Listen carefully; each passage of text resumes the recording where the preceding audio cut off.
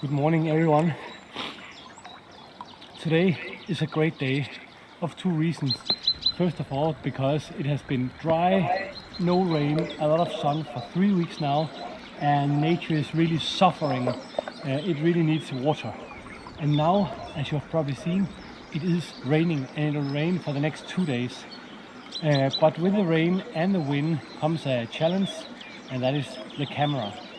Because uh, as soon as, as long as it's just dripping down, everything is perfect. But the moment the, the wind starts to come, the lens will get covered.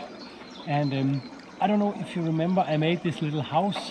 I talked about making a little house for the camera and the microphone, and now it is done. Uh, it is standing just over here, 10 meters away. And what I want to do now is uh, cover the camera and unplug the microphone, and then it'll probably be uh, without picture for like 10 minutes.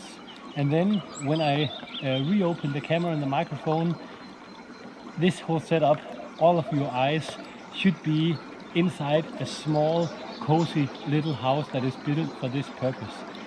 If it works or not, I have no idea, but uh, we're going to try. So uh, I'll make a picture of the little house when the thing is set up and post it as a as a story on my Instagram. So these of you who are there, you can see how the setup will be. I still need to put some um, uh, some uh, material on the roof. Uh, first of all, to dampen the sounds, and second, to protect the the, the, the wood. And then I need to just give the, the, the whole structure a little paint so that it can withstand the rain. That was a lot of talking. After everything is set up, I have brought a little snack, and I think the, there are two experiments now that I'm really curious about. Number one is will it all work? Uh, will the sound be good from inside the little house?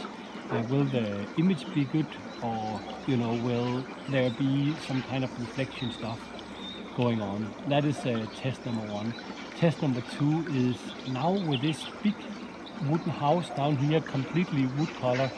How long will it take before the animals actually are starting to return? Because I strongly doubt that the badgers and the fox will come when this house is just there. I am so excited to see how they will react because that is perfectly, that, that's a perfect comparison with setting up a photo blind on a location. Let's say 50 meters from a den or near a place where the animals are drinking. So setting up this little house here will give us a very good indication about how long time it takes before animals start to come back after making a radical change in the landscape. A lot. Today I'm going to Simon, uh, my friend Simon. I'm going to sign some uh, some prints to send out to uh, some of you who bought them like six weeks ago. I've just been so busy, but today we're signing, packing and sending out, and uh, that's going to be nice. So uh, yeah, I will say good morning again when everything is set up. But for now, I'm going to turn off the microphone and the camera. And better make yourself some coffee or tea and enjoy the waiting time